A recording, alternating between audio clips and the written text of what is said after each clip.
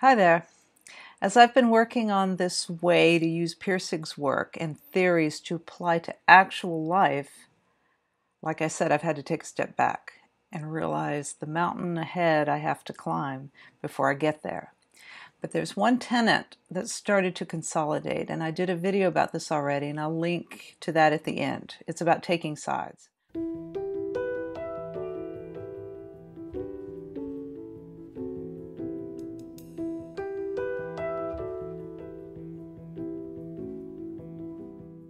So, the early iteration of this tenet of whatever philosophy I'm piecing together uh, with Pirsig's metaphysics of quality as a central point is rather than taking political sides, attempt to see all points of view before making a quality decision. So, why does this fit with Pirsig? Because the mechanism of quality is to be with the facts and allow the best ones to emerge, as Poincaré did the facts that emerge are the ones that have quality. And remember that quality isn't a thing; it's an ongoing emergence. It's um, it's personal. It's contextual. It's uh, it's it's everything coming together at that time that is the best thing. So, what is prescribed by Pirsig seems to me, as far as I can tell, is to be in a state of consciousness that allows this emergence. This is a state of peace of mind and caring about what you're doing. So I'd like to elaborate on this. As we find ourselves in the middle of a culture war that just keeps escalating, what is going to pull us out of this probably is something like transcending to, let's just say, the teal level that Ken Wilber is describing in his theory, an integral theory. And this means learning how to step outside of yourself and your opinions and survey the landscape but what I want to do is talk about this book, How to Win Friends and Influence People, and this book, The Righteous Mind by Jonathan Haidt. I talk about Jonathan Haidt a lot. Um, I think there's several thinkers out there trying to bridge the gap. But Haidt has worked the best for me in this regard in his social intuitionist model. He states that intuition comes first and reasoning comes after a judgment is made in order to justify what you've just said or done to other people and often to yourself. So Haidt calls the emotional responses of the limbic system, that's the that's the um, level down in your brain um, from the human think or from the um, thinking system. This is the emotional system and he calls that response, which is the uh, first response, uh, the elephant and the rationality, the higher part of the brain, the neocortex, etc., um, the rider. And this is basically a paradigm shift as to how we view the way we are, because, you know, um, for a lot of human history, we have seen ourselves, or at least since the Enlightenment, we've seen ourselves as rational creatures.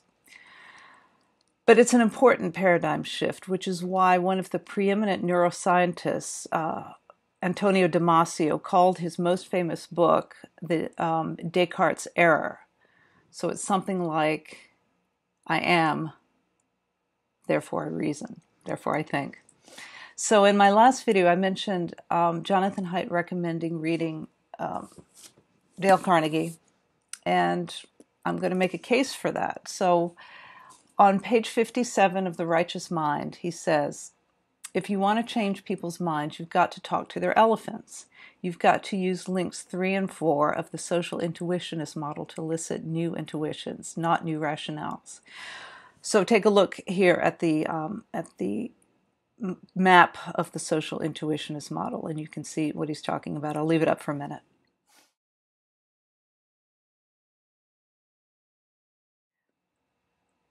So he goes on. Dale Carnegie was one of the greatest elephant whisperers of all time. In his classic book, How to Win Friends and Influence People, Carnegie repeatedly urged viewers or readers to avoid direct confrontations. Instead, he advised people to begin in a friendly way, to smile, to be a good listener, and never say you're wrong. The persuader's goal should be to convey respect, warmth, and an openness to dialogue before stating one's own case. Carnegie was urging readers to use link 4, the social persuasion link, to prepare the ground before attempting to use link 3, the reasoned persuasion link.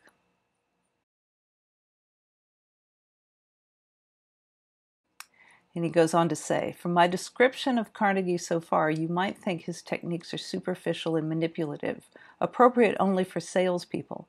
But Carnegie was in fact a brilliant moral psychologist who grasped one of the deepest truths about conflict. He used a quotation from Henry Ford to express it. If there's any one secret of success, it lies in the ability to get the other person's point of view and see things from their angle as well as your own. Hmm. Carnegie realized that if we do in fact see things from their angle, our own elephant might be transformed as well. And that may be what people are afraid of. Uh, it feels awfully good to be right. In fact, um, to be as open as he prescribes takes us out of the righteous mind and possibly into that state that, that uh, Zen and the Art of Motorcycle Maintenance describes in the Gumption to Chautauqua. And I'm going to use now this book, the uh, guidebook to Zen and the Art of Motorcycle Maintenance. Really good book. To um, I'm going to quote from that to describe the state of mind. When through caring and peace of mind we allow quality to stimulate and guide the fusion of subjectivity and objectivity into creative discoveries and illuminating creations. And I'll be using that quote again, I'm sure. So, one time long ago, before the Cultural Wars, we had something called good manners. Good manners have what Pirsig would deem social quality. So let's bring them back. And and the Dale Carnegie book is a very good primer to begin with that. So I'm going to put a link to a blog I wrote about this a couple years ago uh, on my website, and I'm I'm still building the website. There's a lot missing, including rough transcripts of all these videos, but I'm working on it. So I hope that made sense, and I'll see you next time.